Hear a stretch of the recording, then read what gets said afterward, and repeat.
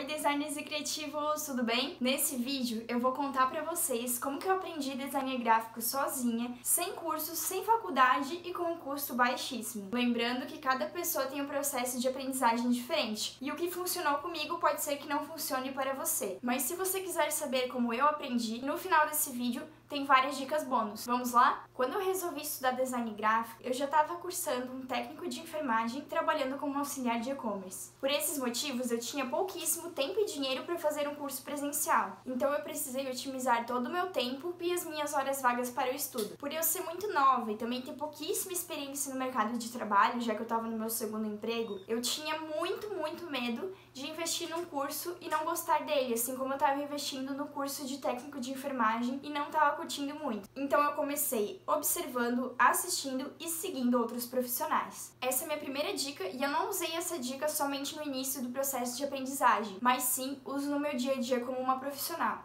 A primeira coisa que eu aprendi foi mexer no software, no meu caso Photoshop. Eu não aprendi a mexer no Photoshop com a intenção de ser designer algum dia, mas sim porque no meu trabalho eu comecei a movimentar as redes sociais do e-commerce e senti essa necessidade. Eu achava que a profissão de designer gráfico era apenas mexer na ferramenta, então foi isso que eu foquei no meu início. No começo eu fazia tudo pela intuição, já que eu não tinha noção alguma de princípios de design gráfico, psicologia da cor, tipografias, etc. Como eu tinha apenas um notebook em casa com processador em 3 bem antigo, ficava muito difícil mexer na ferramenta. Então eu aprendi a mexer no Photoshop apenas observando. Eu abria o YouTube, procurava profissionais utilizando a ferramenta e assistia, já que eu não conseguia reproduzir em casa. Mas como eu assistia todos os dias, eu fui aprendendo e isso foi fixando na minha memória mesmo que eu não quando eu já estava me sentindo mais confiante com o Photoshop, eu comecei a utilizar ele no meu trabalho.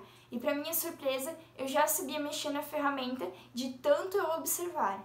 Só que essa habilidade foi adquirida com muitas horas de observação, foco e disciplina, já que eu não tinha nenhum professor de curso ou faculdade me cobrando. Depois que eu comecei a mexer mais na ferramenta do Photoshop, eu fui tomando gosto pelo design. Eu consumia cada vez mais conteúdo sobre design e eu descobri que tinham muitas outras coisas por trás do design além da ferramenta. Tudo que eu achava que era intuitivo, na verdade, era fruto de muita teoria. E foi aí que eu percebi que poderia ser minha futura profissão, já que eu estava muito descontente com o curso de enfermagem que eu estava fazendo e também descontente com o meu trabalho.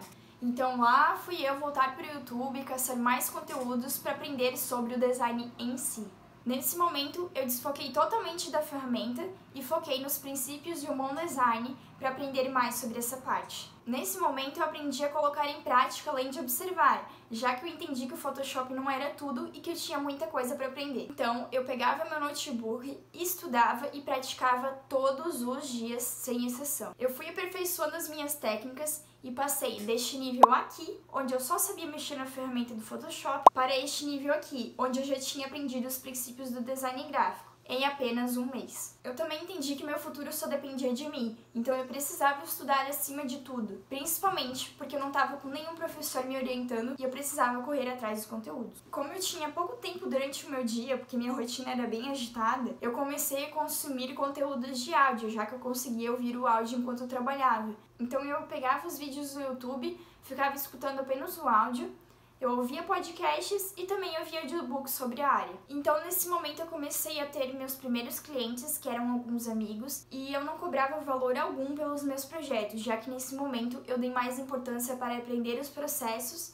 aperfeiçoar minha técnica do que ganhar dinheiro. Eu fui levando o design muito a sério e eu via muito potencial nos meus projetos, então nesse momento eu comecei a cobrar pelos meus trabalhos. Eu assumi muitas empresas nessa etapa e eu fiquei sobrecarregada. Nesse momento, eu larguei meu emprego, já que eu tinha bastante clientes, e eu investi no meu computador, que é meu equipamento de trabalho até hoje. Mas eu nunca parei de consumir conteúdo na internet sobre design já que eu sempre tive a necessidade de pescar muitas referências. Preencha somente de ideias, pois quanto mais referência você consumir, melhor seu design será. Todos os dias, antes de começar a trabalhar, eu passo pelo menos 30 minutos no Behance olhando referências de outros profissionais. Para quem não sabe, o Behance é um site de portfólios e tem projetos no mundo inteiro. Além disso, segui vários profissionais da área do design no Instagram e todos os dias eu vejo projetos super legais que eu uso como referência. Após esse período de aprendizagem inicial, eu comecei a cursar produção multimídia. Nesse momento, eu também já estava pensando em trabalhar com YouTube, então essa faculdade de produção multimídia também ia me passar uma noção de audiovisual. Sintetizando tudo que eu falei nesse vídeo sobre o meu processo de aprendizagem, siga essas dicas. Observe outros profissionais, pratique todos os dias sem exceção, consuma conteúdo sobre a área do design e consuma outros conteúdos como séries, vídeos, filmes, música, livros, sobre todos os assuntos possíveis que você curte, porque até a sua série preferida é importante para criar mais. E depois de aprender, você sempre tem que buscar a evolução profissional, já que a área do design gráfico está em constante evolução, acompanhando toda a tecnologia e tendências do mercado. E já que você ficou até aqui, eu vou te mostrar alguns sites, youtubers, livros e páginas do Instagram que eu sigo no meu dia a dia e que tem muitas referências legais. Esses profissionais me auxiliaram muito na carreira.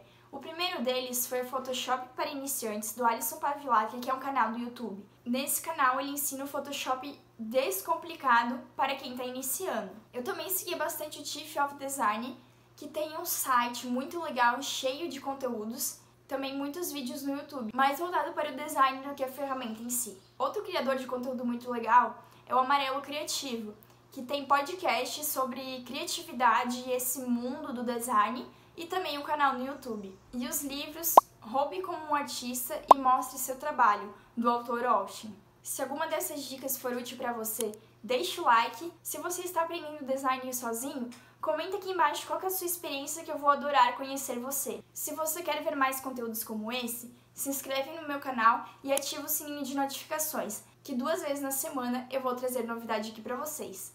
Um beijo e tchau!